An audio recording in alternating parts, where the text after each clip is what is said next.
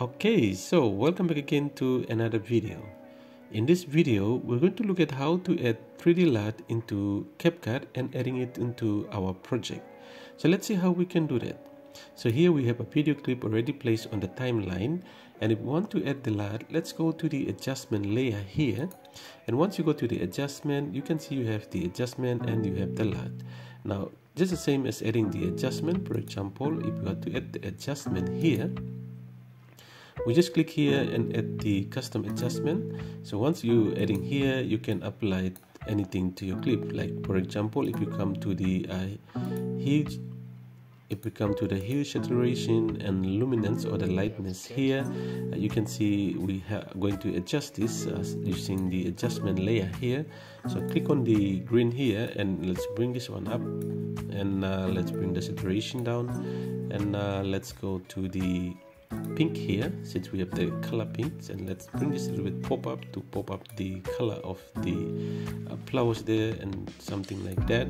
And let's come to the purple again do the same.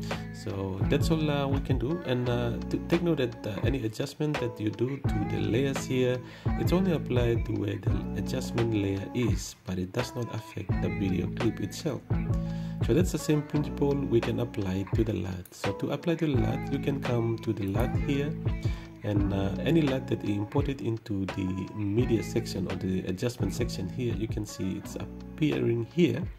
But you can also add uh, new LUT in by importing from here.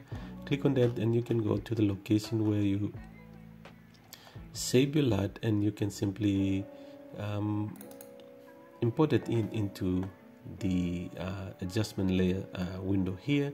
And once you have that again you simply click and drag or you can simply click on the plus sign here. So you can see that we just apply this but it does not affect the whole video. So uh, to adjust this um, you come to the basics here. You can see you have the adjustment here. You can also change from the different LUT that you imported into the window here will appear here okay so that's how we can import the LUT into CapCut and um, enjoy it and um, see you back again in another video.